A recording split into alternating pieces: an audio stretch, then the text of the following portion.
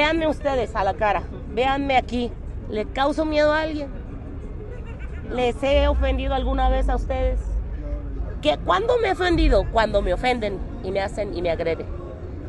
Es cuando yo saco las garras y saco las uñas y no me dejo. El, el no dejarte de las personas quiere decir que estás poniendo un límite y quiere decir basta. Aquí es entre dimes y diretes. Ahí ya no puedes mentir y tampoco puedes decir que el juez es un mentiroso o que las pruebas son un mentiroso.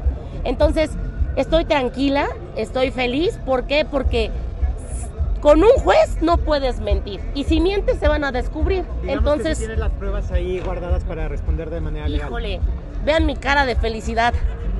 Yo en vez de ponerme mal como ella quería, que ha de haber pensado eso, ha de haber pensado que como me separé de mi ex esposo, que es abogado, me quedé indefensa, pues no, no es así. Acuérdense que yo sí tengo trastorno mixto de ansiedad y depresión.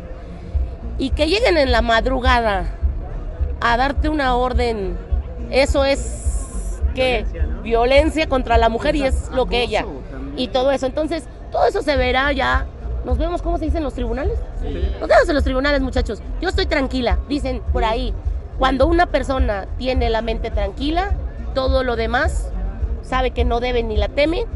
Y yo, papelito habla. Yo he quedado como la peor de todas, como la peleonera, como la cocainómana, que acuérdense, ustedes tienen todos los testigos, la cocainómana, la este, arrabalera, la peleonera, la verdulera, todo lo demás. Entonces, sí es en contra de mi persona, de mi nombre, de han afectado a mi familia, han afectado a mi ex esposo.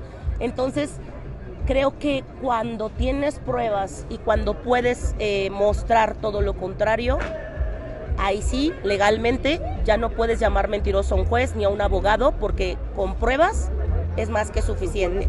A mí sí me acosan, han acosado a mi familia, han acosado a mi ex esposo, yo sí tengo pruebas, entonces me siento tranquila.